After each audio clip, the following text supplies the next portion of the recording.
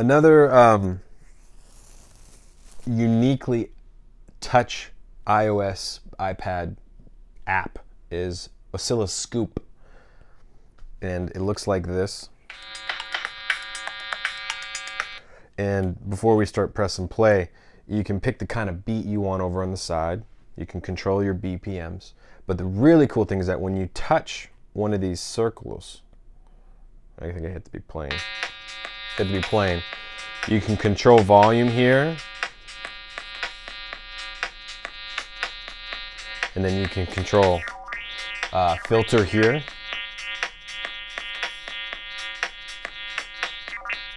And then your pitch up on top. Now that's free. You can come over on the side and it gives you more of a, um,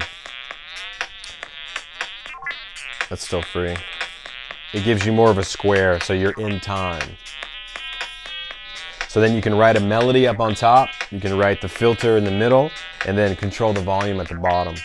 You can change your beats while you're in the middle of it.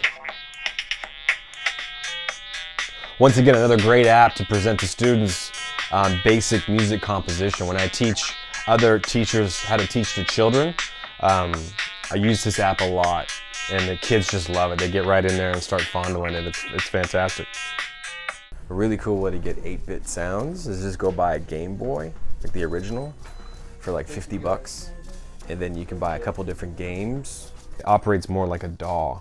And it's got everything in it that you would need to make uh, a piece of music.